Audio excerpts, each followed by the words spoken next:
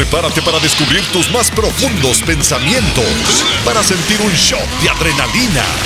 y para saber cómo evitar cualquier obstáculo en el viernes de palomitas ilimitadas con El Vengador del Futuro, Rápido y Furioso, Reto Tokio y Asesinos por el 5.